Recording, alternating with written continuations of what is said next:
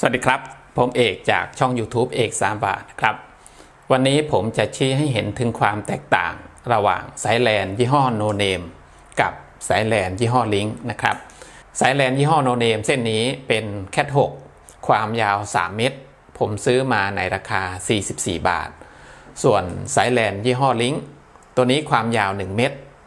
ซื้อมาในราคา 49 บาทนะครับ 1 เม็ดแพงกว่า 3 เม็ดนะครับ หลังจากที่ผ่ามาแล้วเนี่ยดูนะครับ ตัวสายแลนยี่ห้อโนเนมแทบจะไม่ตีเกลียวเลยนะครับ ดูการตีเกลียวก็ตีห่างๆนะครับ ส่วนยี่ห้อลิงตีเกลียวแน่นหนามากนะครับ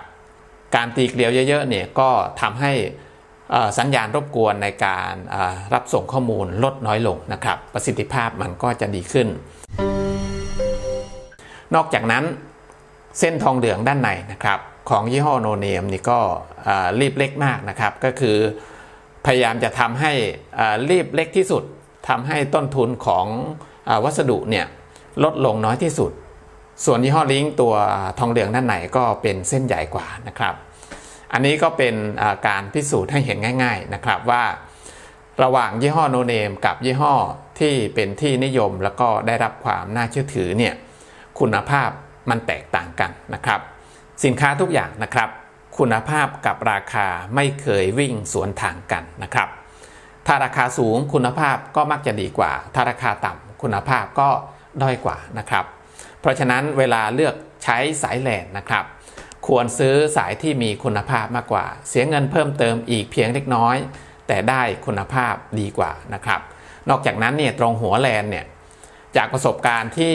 เคยใช้ทั้งยี่ห้อโนเนมแล้วก็ยี่ห้อลิงก์เนี่ย เวลาใช้ไปสักพักหนึ่งเนี่ยไม่ถึงปีด้วยซ้ำไปนะครับ ยี่ห้อโนเนมตัวหัวตรงนี้มันจะขึ้นสนิม แล้วก็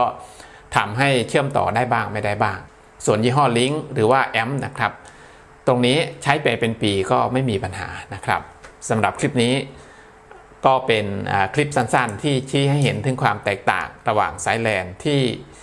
มียี่ห้อกับยี่ห้อโนเนม ขอบคุณที่ติดตามรับฟังรับชมนะครับ สวัสดีครับ